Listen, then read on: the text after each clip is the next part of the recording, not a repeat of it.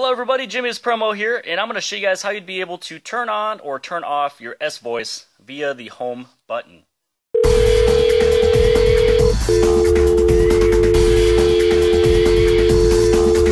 sorry, the number you have dialed is not in service at this time. So if you double press on the home icon and your S-Voice does not pop up, or if you do press on it and it does pop up, this is how you'd be able to turn it on or turn it off. So the first thing you're going to want to do is head into your applications tray. Move on over to where it says S Voice. Inside of here, you'd be able to hit on the menu icon on the top right. Unless if you have an older device and it has the menu icon on the bottom, just make sure you go into the settings. Inside of here, here's the option for open via home key. Now when you go back to the home page, double press on the home icon, and here we go, and we're back into S Voice. Hope this helped you guys out. Make sure you guys hit like and subscribe. Thank you.